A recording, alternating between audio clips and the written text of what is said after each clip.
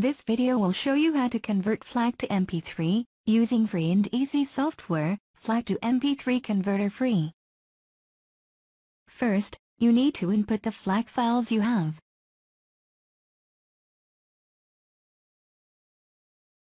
You can see some detailed file info of the files loaded. Use Move Up or Move Down button, or drag the listed files to change the order.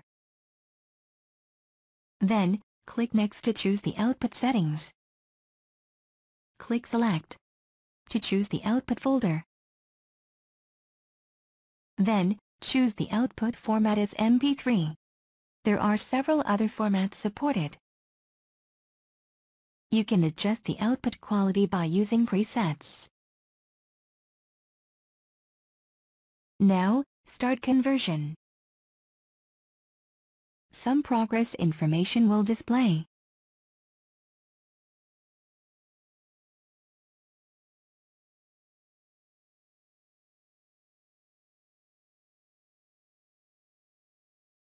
It also allows you to play a reminder sound or shut down the computer after conversion.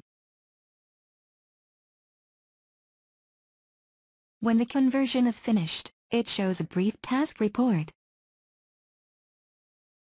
Finally, open the output folder to find the converted files.